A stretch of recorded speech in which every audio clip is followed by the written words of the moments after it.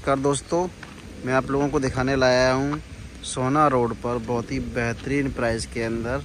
बिल्कुल देखिए, बिल्कुल सोना रोड सेक्टर 69 70 के आसपास है। अरावली व्यू है, बिल्कुल बहुत ही बढ़िया यहाँ प्लॉटिंग है। लिमिटेड प्लॉट्स यहाँ बचे हुए हैं।